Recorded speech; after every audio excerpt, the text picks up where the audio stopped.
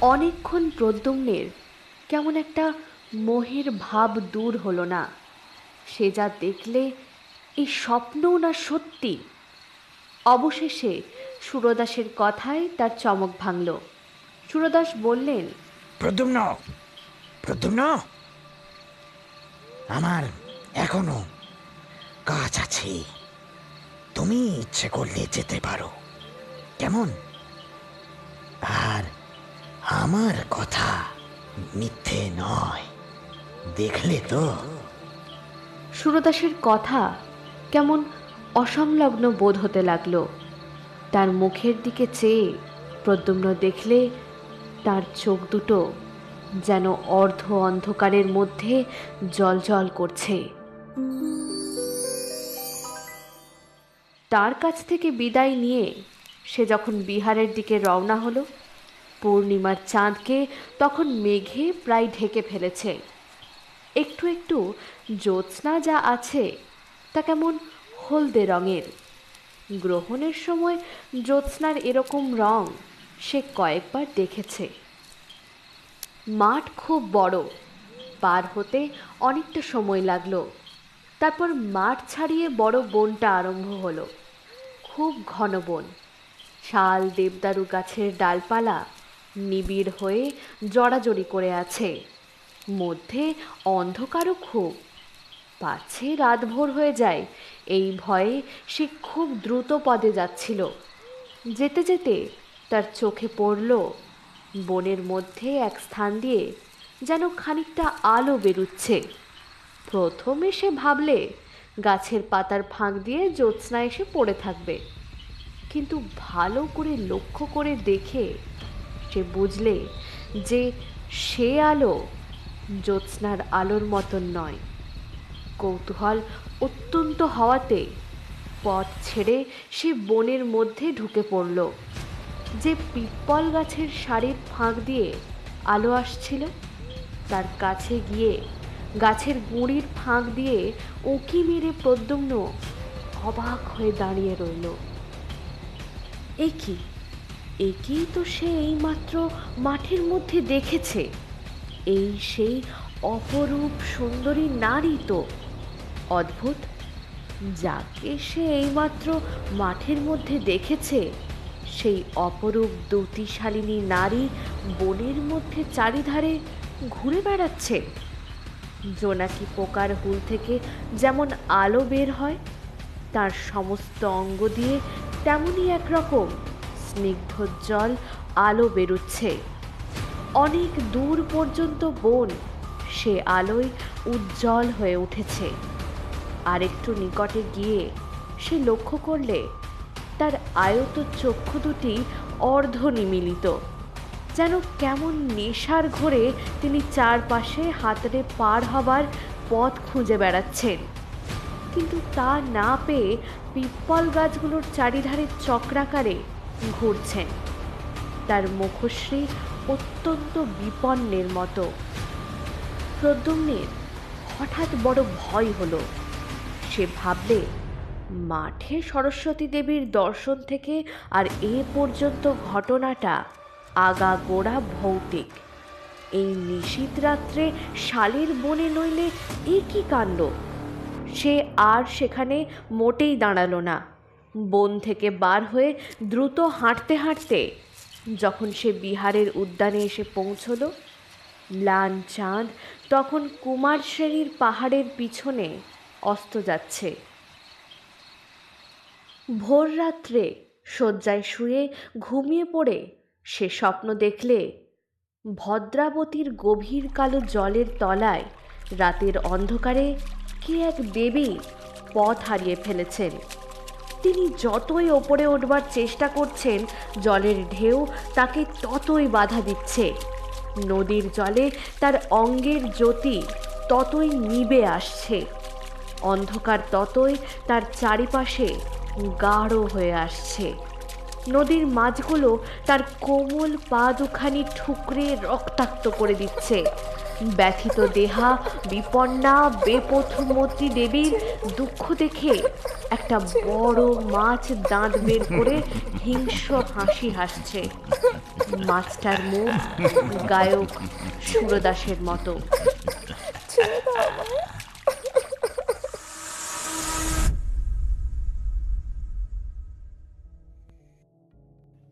গল্প বলা কাজ অফিসিয়ালে আজকের নিবেদন মেঘমল্লার।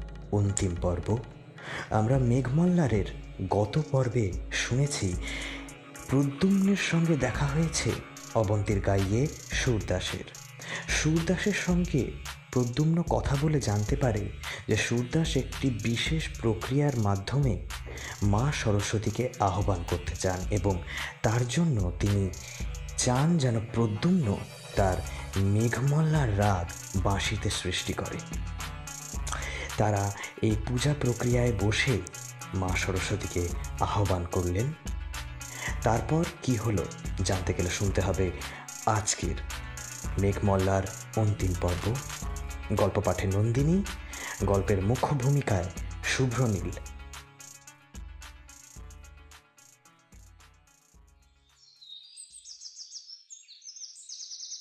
প্রদ্যুম্ন, ভোরে উঠেই আচার্য পূর্ণবর্ধনের কাছে গিয়ে সুরদাসের সঙ্গে প্রথম দেখার দিন থেকে গত রাত্রি পর্যন্ত সমস্ত ব্যাপার খুলে বললে।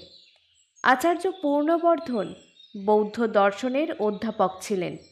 মঠের ভিক্ষুদের মধ্যে তিনি ছিলেন সর্বাপেক্ষা প্রাচীন ও বিজ্ঞ। এজন্য সকলেই তাকে শ্রদ্ধা করত। তিনি সব শুনে বিস্মিত হলেন। সঙ্গে সঙ্গে তার চোখের দৃষ্টি শঙ্কাকুল হয়ে উঠল। জিজ্ঞাসা করলেন এই কথা আগে জানাওনি কেন? মানে তি- তিনি নিষেধ করেছিলেন। আম- আমি তার কাছে প্রতিজ্ঞা। হুম বুঝেছি। তবে এখন বলতে এসেছ কেন? এখন আমার মনে হচ্ছে আমি আমি কার যেন কি অনিষ্ট করেছি। পূর্ণবর্ধন একটুখানি কি ভাবলেন তারপর বললেন এইরকম একটা কিছু ঘটবে, আমি জানতাম। পদ্ম সম্ভব আর তার কতগুলো কাণ্ড জ্ঞানহীন তান্ত্রিক শিষ্য দেশের ধর্মকর্ম লোপ করতে বসেছে। স্বার্থ সিদ্ধির জন্য এরা না করতে পারে এমন কোনো কাজই নেই। আর আমি বেশ দেখছি প্রদ্যুম্ন, যে তোমার এই অবাধ্যতা ও অযথা কৌতুকপ্রিয়তাই তোমার সর্বনাশের মূল হবে। তুমি কাল রাত্রে অত্যন্ত অন্যায় কাজ করেছ। তুমি দেবী সরস্বতীকে বন্দিনী করবার সহায়তা করেছ। এবার প্রদ্যুম্নের বিস্মিত হবার পালা। তার মুখ দিয়ে কোনো কথা বার হলো না। পূর্ণবর্ধন বললেন এই সব কুসংসর্গ থেকে দূরে রাখবার জন্যই আমি বিহারের কোনো ছাত্রকে বিহারের বাইরে যাবার অনুমতি দিইনি। কিন্তু যাক, তুমি ছেলে মানুষ, তোমারই বা দোষ কি? আচ্ছা এই সুরদাসকে দেখতে কীরকম বলো দেখি। প্রদ্যুম্ন সুরদাসের আকৃতি বর্ণনা করলে। আমি জানি। তুমি যাকে সুরদাস বলছো তার নাম সুরদাস নয় বা তার বাড়ি অবন্তিতেও নয়। সে হচ্ছে প্রসিদ্ধ কাপালিক গুণাঢ্য। কার্যসিদ্ধির জন্য তোমার কাছে মিথ্যা নাম বলেছে। কিন্তু আপনি যে বলেছেন। সে ইতিহাস বলছি শোনো। নদীর ধারে যে সরস্বতী মন্দিরের ভগ্নস্তূপ আছে ওটা হিন্দুদের একটা অত্যন্ত বিখ্যাত তীর্থস্থান। প্রায় দুশত বৎসর পূর্বে একজন তরুণ গায়ক ওখানে থাকতো। তখন মন্দিরের খুব সমৃদ্ধির অবস্থা ছিল না।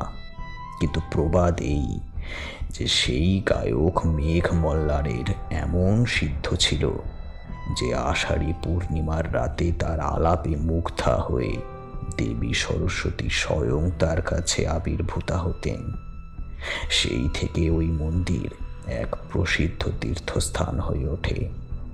সে গায়ক মারা যাওয়ার পরেও কিন্তু পূর্ণিমার রাতে সিদ্ধ গায়ক মল্লার আলাপ করলেই দেবী যেন কোন টানে তার কাছে এসে পড়েন। এই গুণাঢ্য একবার অবন্তীর প্রসিদ্ধ গায়ক সুরদাসের সঙ্গে ওই ঢিবিতে উপস্থিত ছিল। সুরদাস মেঘমল্লার সিদ্ধ ছিলেন। তার গানে নাকি সরস্বতী দেবী, তার সম্মুখে আবির্ভূতা হয়ে তাকে বর প্রার্থনা করতে বলেন। সুরদাস প্রার্থনা করেন, তিনি যেন দেশের সঙ্গীতজ্ঞ ব্যক্তিদের মধ্যে শ্রেষ্ঠ আসন প্রাপ্ত হন। সরস্বতী দেবী তাকে সেই বরই দেন। তারপর দেবী যখন গুণাঢ্যকে বর প্রার্থনার কথা বলেন, তখন সে দেবীর রূপে মুগ্ধ হয়ে তাকেই প্রার্থনা করে বসে। সরস্বতী দেবী বলেছিলেন, তাকে পাওয়া নির্গুণের কাজ নয়। সে নামে গুণাঢ্য হলেও কার্যত তার এমন কোনো কলাতেই নিপুণতা নেই যে তাকে পেতে পারে। অনেক জীবন ধরে সাধনার প্রয়োজন। সরস্বতী দেবী অন্তর্হিত হওয়ার পর মূর্খ গুণাঢ্যের মোহ আরও বেড়ে যায়।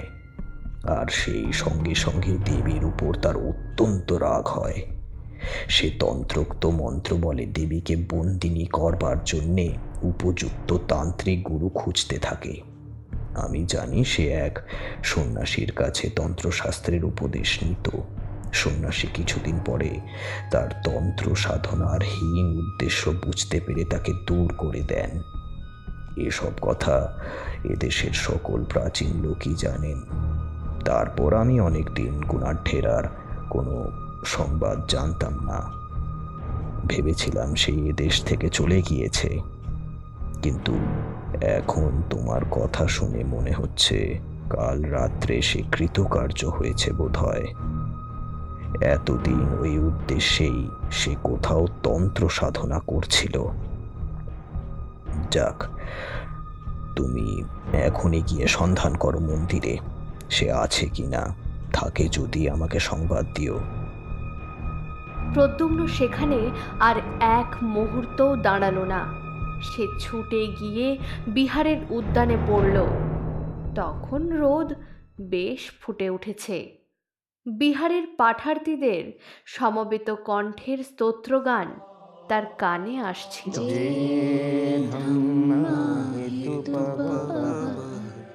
ते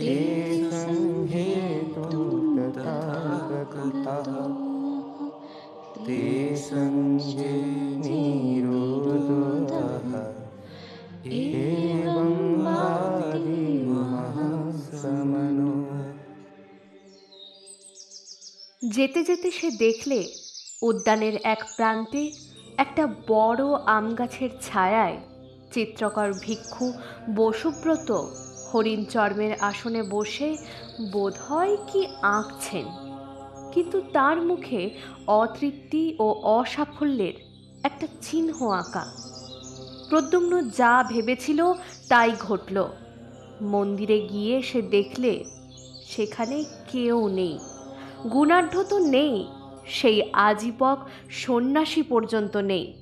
দু একটা জবাণ্ড পানের ঘট আগুন জ্বালাবার জন্যে সংগৃহীত কিছু শুকনো কাঠ মন্দিরের মধ্যে এদিক ওদিক ছড়ানো পড়ে আছে। সেই দিন গভীর রাত্রে প্রদ্যুম্ন কাউকে কিছু না বলে চুপি চুপি বিহার পরিত্যাগ করলে। তারপর এক বৎসর কেটে গিয়েছে। বিহার পরিত্যাগ করবার পর প্রদ্যুম্ন একবার কেবল সুনন্দার সঙ্গে সাক্ষাৎ করে বলেছিল, সে বিশেষ কোনো কাজে বিদেশ যাচ্ছে, শীঘ্রই ফিরে আসবে। এই এক বৎসর সে কাঞ্চি, উত্তর কোশল ও মগধের সমস্ত স্থান খুঁজেছে। কোথাও গুণাঢ্যের সন্ধান পায়নি। তবে বেড়াতে বেড়াতে কতকগুলি কৌতূহলজনক কথা তার কানে গিয়েছে। মগধের প্রসিদ্ধ ভাস্কর মিহিরগুপ্ত রাজার আদেশ মতো ভগবান তথাগতের মূর্তি তৈরি করতে আদিষ্ট হয়েছিলেন। এক বৎসর পরিশ্রম করে তিনি যে মূর্তি গড়ে তুলেছিলেন, তার মুখশ্রী এমন রূঢ় ও ভাববিহীন হয়েছে যে, তা বুদ্ধের মূর্তি কি মগধের দুর্দান্ত দস্যু দমনকের মূর্তি? তা সে দেশের লোক ঠিক বুঝতে পারছে না। তক্ষশিলার বিখ্যাত দার্শনিক পণ্ডিত যমুনাচার্য মীমাংসা দর্শনের ভাষ্য প্রণয়ন করতে নিযুক্ত ছিলেন। হঠাৎ তার নাকি এমন দুর্দশা ঘটেছে যে তিনি আর সূত্রের অর্থ করে উঠতে না পেরে আবার বৈদিক ব্যাকরণের সুবন্ত প্রকরণ থেকে পড়তে আরম্ভ করেছেন। মহাকর্ঠী বিহারের চিত্রবিদ্যা শিক্ষক ভিক্ষু বসুব্রত, বুদ্ধ ও সুজাতা নামক তার চিত্রখানা বৎসরবিধি চেষ্টা করেও মনের মতো করে এঁকে উঠতে না পেরে বিরক্ত হয়ে ওদিক একেবারে ছেড়ে দিয়ে, সম্প্রতি নাকি শাকুন শাস্ত্রের চর্চায় অত্যন্ত উৎসাহ দেখাচ্ছেন। একদিন প্রদ্যুম্ন সন্ধান পেলে উরবিল্ল গ্রামের কাছে একটা নির্জন স্থানে একজন গো চিকিৎসক এসে বাস করছেন। তার চেহারার বর্ণনার সঙ্গে সুরদাসের আকৃতির অনেকটা মিল ছিল। তখনই সে গ্রামে গিয়ে অনেককে জিজ্ঞাসা করলে, কিন্তু গো চিকিৎসকের সন্ধান কেউ দিতে পারলে না। সেদিন ঘুরতে ঘুরতে অবসন্ন অবস্থায় উরুবিল্ল গ্রামের প্রান্তের একটা বড় বটগাছের ছায়ায় সে বসেছে। সন্ধ্যা তখনও নামেনি। ঝিরঝিরে বাতাসে গাছের পাতাগুলো নাচছে। পাশে মাঠে পাকা শস্যের শীষগুলো সোনার মতো চিকচিক করছে। একটু দূরে একটা ডোবার মতো জলাশয়ে বিস্তর কুমুদ ফুল ফুটে আছে। অনেক বন্য হংস তার জলে খেলা করছে। সামনে একটু দূরে একটা ছোট পাহাড়। পাহাড়ের গায়ে একটা ঝর্ণা। পাহাড়ের নিচে এক জায়গায় ঝর্ণার জল খানিকটা আটকে গিয়ে ওই ডোবার মতো জলাশয়টা তৈরি করেছে। প্রদ্যুম্নের হঠাৎ চোখে পড়ল পাহাড়ের গা বেয়ে ধাপে ধাপে ঘটকক্ষে এক স্ত্রীলোক নেমে আসছেন। দেখে তার মনে কেমন সন্দেহ হওয়াতে সে এগিয়ে গেল। ডোবার একদিকের উঁচু পাড়ে গিয়ে দেখেই তার মাথাটা যেন ঘুরে উঠল। এই তো এই তো তিনি। ভদ্রাবতী তীরে, শালবনে ইনি তো পথ হারিয়ে ঘুরছিলেন। মাঠের মধ্যে জ্যোৎস্না রাতে একেই তো সে দেখেছিল। তবে তার অঙ্গের সে জ্যোতির এক কণাও আর নেই। পরনে অতি মলিন এক বস্ত্র। কিন্তু সেই চোখ, সেই সুন্দর গঠন। দাঁড়িয়ে দাঁড়িয়ে দেখে তার আর কোনো সন্দেহ রইল না যে এই তিনি। তার মনের মধ্যে গোলমাল বেঁধে গেল। সে উত্তেজনার মাথায় বিহার ছেড়ে সুরদাসের খোঁজ করে বেড়াচ্ছিল বটে। কিন্তু দেখা পেলে কি করবে? তা সে ভাবেনি। কাজেই সে একরকম লুকিয়েই সেখান থেকে চলে এলো।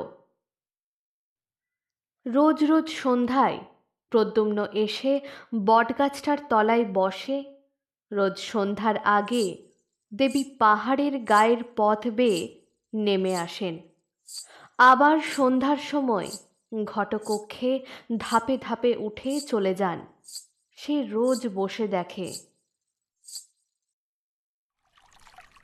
এই রকম কিছুদিন কেটে গেল। একদিন প্রদ্যুম্ন মাঠের গাছতলায় চুপ করে বসে আছে। সেই সময় দেবী জলাশয়ে নামলেন। সেও কি ভেবে ডোবার এদিকের পাহাড়ের দিকে দাঁড়াল।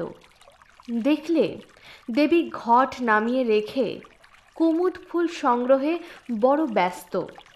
একটা বড় ফুল জলাশয়ের এপারের দিকে এগিয়ে বেশি জলে ফুটেছিল। তিনি সেটা সংগ্রহের জন্য খানিকটা বৃথা চেষ্টা করবার পর চোখ তুলে অপর পারে প্রদ্যুম্নকে দেখতে পেয়ে হঠাৎ একটু অপ্রতিভের হাসি হাসলেন। তারপর হাসি মুখে তার দিকে চেয়ে বললেন ফুলটা আমায় তুলে দেবে? দেব। যদি আপনি এক কাজ করেন। কি? বলো। আমায় কিছু খেতে দেবেন? আমি সমস্ত দিন কিচ্ছু খাইনি। দেবীর মুখে ব্যথার চিহ্ন দেখা দিল। বললেন আহা তা এতক্ষণ বলনি কেন? এবারে এসো থাক কে ফুল। প্রদ্যুম্ন জলে নেমে ফুলটা সংগ্রহ করে ওপারে গেল। দেবী বললেন তুমি মাঠের মাঝে রয়ে বড় গাছটির তলায় বসে থাকো না। হ্যাঁ আমিও দেখি আপনি ওই সন্ধ্যার সময় রোজই জল নিতে আসেন। ওই পাহাড়ের ওপরেই আমার ঘর। এসো তুমি আমার সঙ্গে।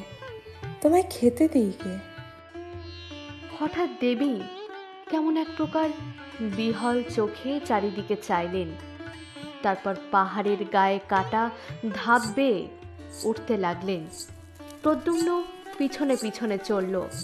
পাহাড়ের উপরে উঠে গিয়ে একটু দূরে বুনো বাঁশঝাড়ের আড়ালে বেশ পরিষ্কার পরিচ্ছন্ন একটা ছোট কুটির।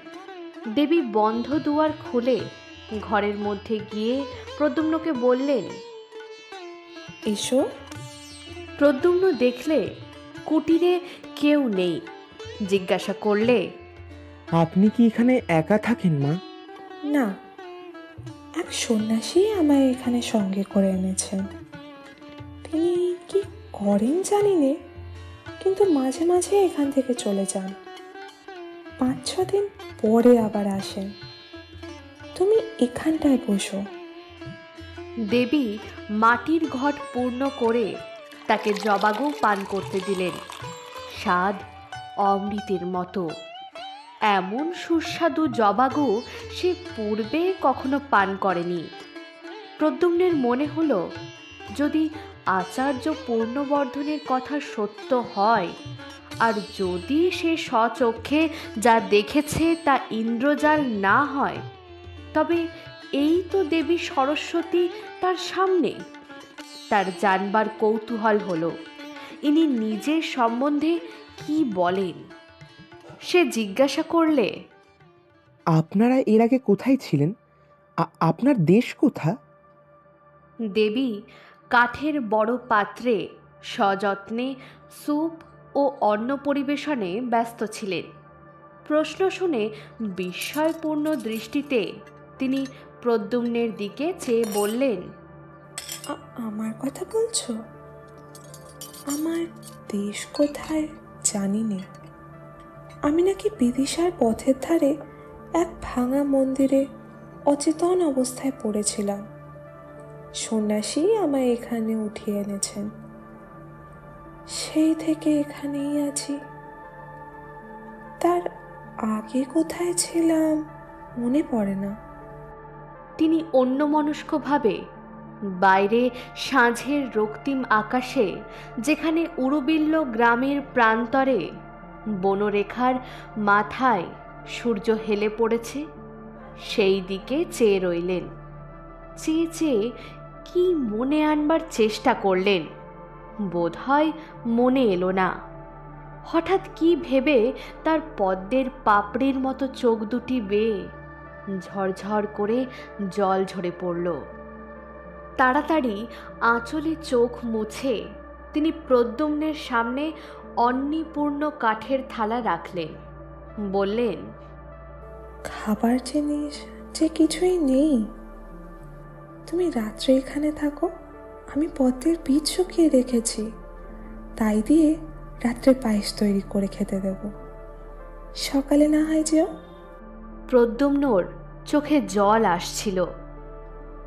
ওগো বিশ্বের আত্মবিস্মৃতা সৌন্দর্য লক্ষ্মী বিদিশার মহারাজের আর মহাসৃষ্টির সমবেত রত্ন ভাণ্ডার তোমার পায়ের এক কণা ধুলোরও যোগ্য নয়, মা। সে দেশের পথের ধুলো এমন কি পুণ্য করেছে যে তুমি তুমি সেখানে পড়ে থাকতে যাবে, মা মা গো? খাওয়া শেষ হলে প্রদ্যুম্ন বিদায় চাইলে। দেবীর চোখে হতাশার দৃষ্টি ফুটে উঠল। বললেন থাকো না রাত্রে আমি পায়েস রেঁধে দেবো। আপনার এখানে একা রাত্রে থাকতে ভয় করে না মা? খুব ভয় করে। ওই বেতের বনের অন্ধকারে কি যেন নড়ে। ভয়ে আমি দৌড় খুলতে পারিনি। ঘুমও হয় না। সমস্ত রাত বসেই থাকি। প্রদ্যুম্নের হাসি পেল। ভাবলে রাত্রে একা থাকতে ভয় করে বলে পায়েসের লোভ দেখিয়ে দেবী তাকে সঙ্গে রাখতে চান। সে বললে আচ্ছা রাত্রে থাকব। দেবীর মুখ আনন্দে উজ্জ্বল হলো।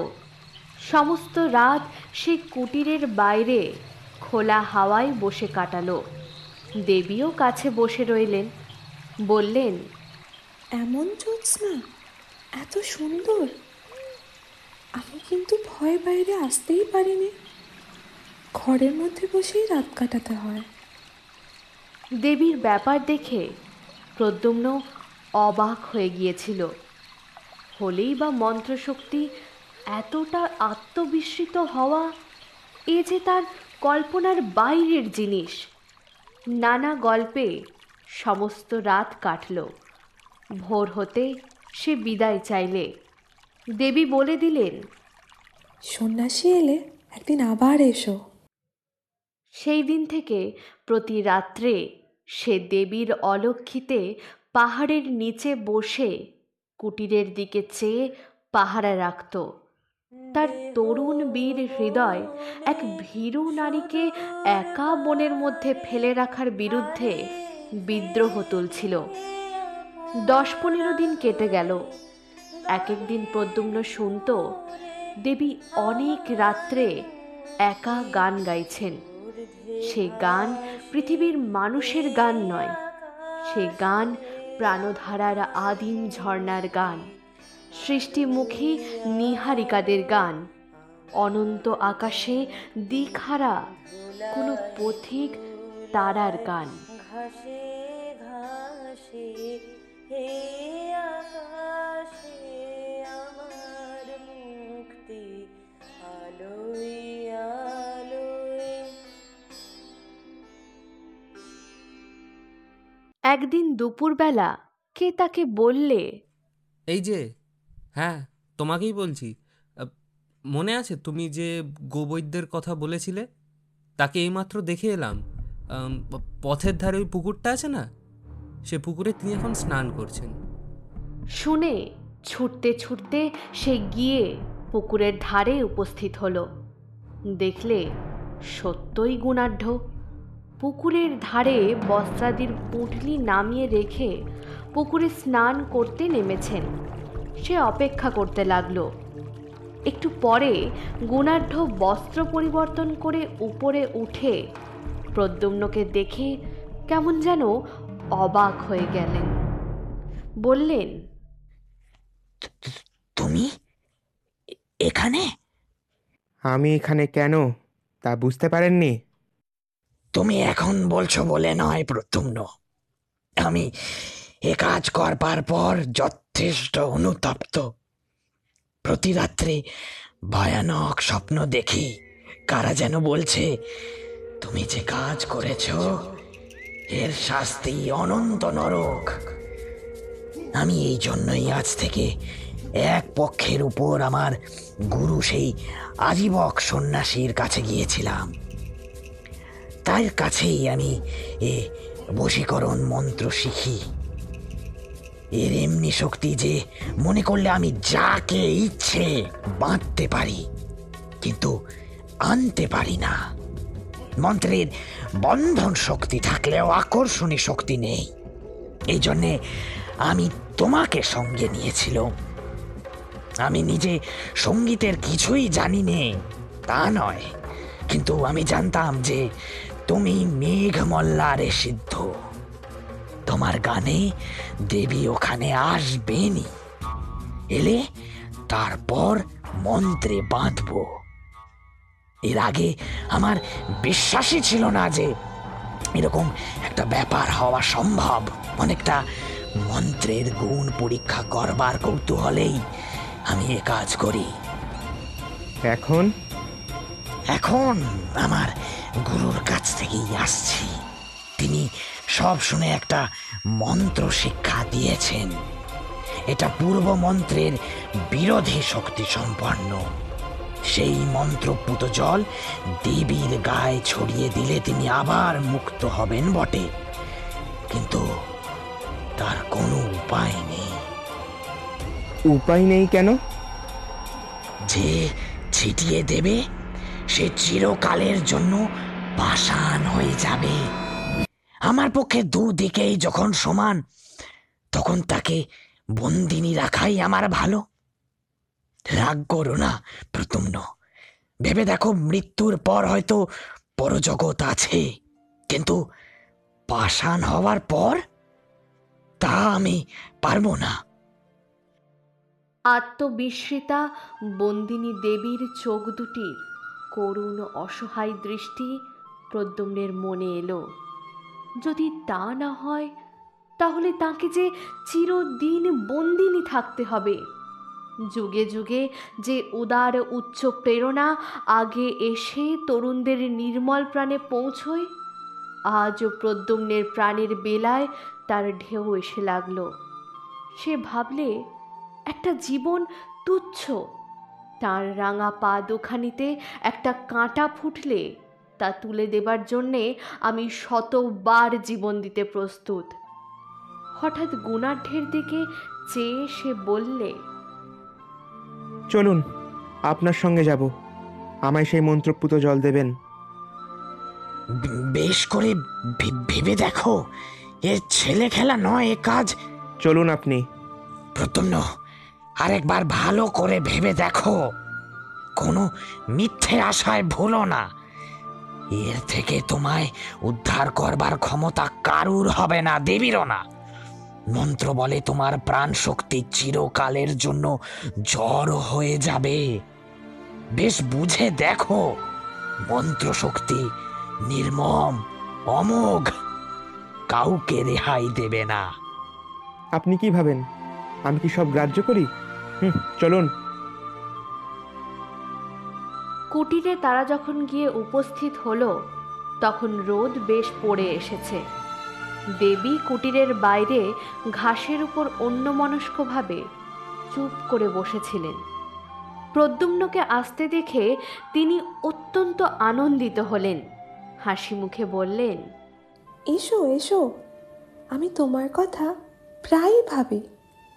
তোমায় সেদিন কিছু খেতে দিতে না পেরে আমার মন খুব খারাপ হয়েছিল। এখন তুমি এখানেই কিছুদিন থাকো। তিনি দুজনকে খেতে দেবার জন্য ব্যস্ত হয়ে কুটিরের মধ্যে চলে গেলেন। প্রদ্যুম্ন বললে কই আমায় মন্ত্রপুত জল দিন তবে? সত্যি? তাহলে তুমি এতে প্রস্তুত? আমায় আর কিচ্ছু বলবেন না জল দিন। দেবী কুটিরের মধ্যে আহারের স্থান করে দুজনকে খেতে দিলেন। আহারাদি যখন শেষ হলো, তখন সন্ধ্যার আর বেশি দেরি নেই। বেত বনে ছায়া নেমে আসছে। রাঙা সূর্য আবার উড়ুবিল্ল গ্রামের উপর ঝুলে পড়েছে। গোধূলির আলোয় দেবীর মুখপদ্মে অপরূপ শ্রী ফুটে উঠল। তারপর তিনি ঘটকক্ষে প্রতিদিনের মতো নিচের ঝর্ণায় জল আনতে নেমে গেলেন। গুণাঢ্য বললেন হ্যাঁ আমি আগে এখান থেকে চলে যাই। তারপর এই ঘটপূর্ণ জল দেবীর গায়ে ছিটিয়ে দিও। তার চক্ষু অশ্রুপূর্ণ হল। আবেগ ভরে তিনি প্রদ্যুম্নকে আলিঙ্গন করে বললেন আমি কাপুরুষ। আমার তো সাহস নেই, নইলে। তিনি কুটিরের মধ্যে তার দ্রব্যাদি সংগ্রহ করে নিলেন। তারপর সরু পথ বেয়ে বেত বনের ধার দিয়ে পাহাড়ের অপর পারে চলে গেলেন। তারই নিচে একটু দূরে মগধ থেকে বিদিশা যাওয়ার রাজবর্ত। প্রদ্যুম্ন চারিদিকে চেয়ে বসে বসে ভাবলে, ওই নীল আকাশের তলে বিশ বৎসর আগে সে মায়ের কোলে জন্মেছিল। তার সে মা বারাণসীতে, তাদের গৃহটিতে বসে বাতায়ন পথে, সন্ধ্যার আকাশের দিকে চেয়ে হয়তো প্রবাসী পুত্রের কথাই ভাবছেন। মায়ের মুখখানি একবারটি শেষবারের জন্য দেখতে তার প্রাণ আকুল হয়ে উঠল। ওই পূর্ব আকাশের নবমীর চাঁদ কেমন উজ্জ্বল হয়েছে। মগধ যাবার রাজপথে গাছের সারির মাথায় একটা তারা ফুটে উঠল। বেত বনের বেত ডাঁটাগুলো তরল অন্ধকারে আর ভালো দেখা যায় না। প্রদ্যুম্নের চোখ হঠাৎ অশ্রুপূর্ণ হলো। সেই সময়ে সে দেখলে দেবী জল নিয়ে পাহাড়ের গা বেয়ে উঠে আসছেন। মন্ত্রপুত জলপূর্ণ ঘট সে মাটিতে নামিয়ে রেখেছিল। দেবীকে আসতে দেখে সে তা হাতে তুলে নিল। দেবী কুটিরের সামনে এলেন। তার হাতে অনেকগুলো আধফোঁটা কুমুদ ফুল। দেবী জিজ্ঞাসা করলেন, সন্ন্যাসী কোথায়? তিনি আবার কোথায় চলে গেলেন? আজকে আর আসবেন না। তারপর সে গিয়ে দেবীর পায়ের ধুলো নিয়ে তাকে প্রণাম করে বললে মা না জেনে তোমার ওপর অত্যন্ত অন্যায় আমি করেছিলাম। আজ তারই শাস্তি আমাকে নিতে হবে। কিন্তু আমি তার জন্য এতটুকু দুঃখিত নই। যতক্ষণ জ্ঞান লুপ্ত না হয়ে যায় ততক্ষণ এই ভেবে আমার সুখ যে বিশ্বের সৌন্দর্য লক্ষ্মীকে অন্যায় বাঁধন থেকে মুক্ত করার অধিকার আমি পেয়েছি। দেবী বিস্মিত দৃষ্টিতে প্রদ্যুম্নের দিকে চেয়ে রইলেন। প্রদ্যুম্ন বললে শুনুন আপনি বেশ করে মনে করে দেখুন দেখি আপনি কোথা থেকে এসেছিলেন? কেন? আমি তো বিদিশার পথের ধারে। প্রদ্যুম্ন এক অঞ্জলি জল তার সর্বাঙ্গে ছিটিয়ে দিলে। সদ্য নিদ্রোত্থিতার মতো দেবী যেন চমকে উঠলেন। প্রদ্যুম্ন দৃঢ় হস্তে আরেক অঞ্জলি জল দেবীর সর্বাঙ্গে ছড়িয়ে দিলে। নিমেষের জন্যে তার চোখের সামনে বাতাসে এক অপূর্ব সৌন্দর্যের স্নিগ্ধ প্রসন্ন হিল্লোল বয়ে গেল। তার সারা দেহ, মন আনন্দে শিউরে উঠল। সঙ্গে সঙ্গে তার মনে এলো, বারাণসীতে তাদের গৃহ সন্ধ্যার আকাশে বদ্ধ আঁখি, বাতায়ন পথবর্তিনী তার মা।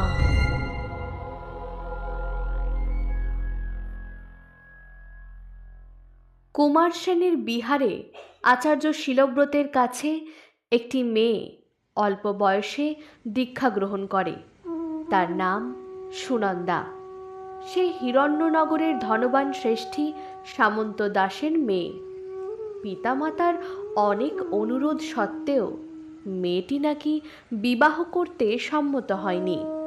অত্যন্ত তরুণ বয়সে প্রব্রজ্জা গ্রহণ করায় সে বিহারের সকলের শ্রদ্ধার পাত্রী হয়ে উঠেছিল। সেখানে কিন্তু কারও সঙ্গে সে তেমন মিশত না। সর্বদাই নিজের কাজে সময় কাটত। আর সর্বদাই কেমন অন্য মনস্ক থাকত। জ্যোৎস্না রাত্রে বিহারের নির্জন পাষাণ অলিন্দে দাঁড়িয়ে দাঁড়িয়ে সে আপন মনে প্রায়ই কি ভাবত। মাঠের জ্যোৎস্না জাল কাটিয়ে অনেক রাতে কাউকে বিহারের দিকে আসতে দেখলে সে এক দৃষ্টে সেদিকে চেয়ে থাকত। যেন কতদিন আগে তার যে প্রিয় আবার আসবে বলে চলে গিয়েছিল, তারই আসবার দিন গুনে গুনে এই শান্ত শান্ত ধীর পথ চাওয়া।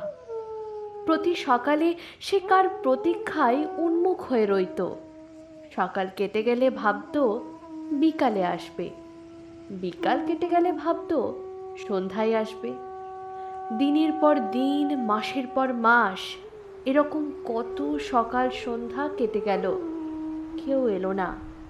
তবু মেয়েটি ভাবতো, আসবে আসবে, কাল আসবে।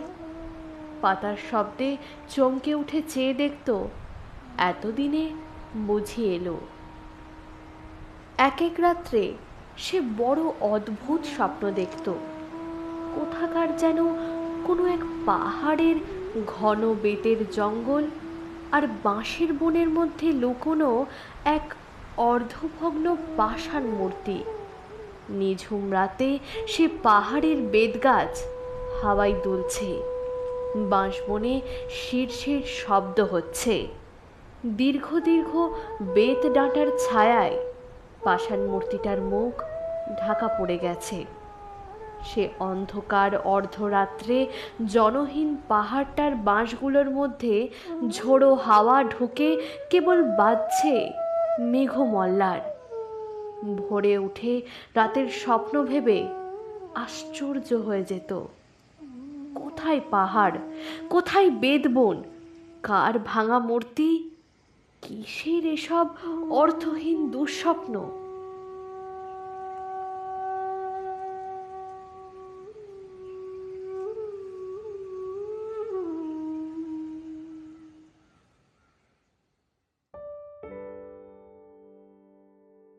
শুনছিলেন মেঘমল্লারের অন্তিম পর্ব? আমাদের আজকের গল্প পাঠ করেছে নন্দিনী, গল্পের মুখ্য ভূমিকায় অর্থাৎ প্রদ্যুম্নের চরিত্রে শুভ্রনীল, সুরদাস ওরফে গুণাঢ্য এবং পূর্ণবর্ধনের চরিত্রে আমি অভিক, সুনন্দা, সৌমি, মা সরস্বতীর ভূমিকায় সোহিনী, গল্পের সূত্রধার আমি অভিক। সাউন্ডস্কেপ ডিজাইন এবং এডিটিং সামলেছে প্রবাল। পোস্টার ডিজাইন করেছে প্রবাল এবং ব্রতপ্রিয়া। ভিডিও এডিটিং সৈকত। আসছে দিনে আবারও। গল্প বলা কাজ হাজির হবে আরও নতুন স্বাদের গল্প নিয়ে। Till then please do like comment share and subscribe our channel গল্প বলা কাজ অফিসিয়াল ইয়োর গল্প পাটনা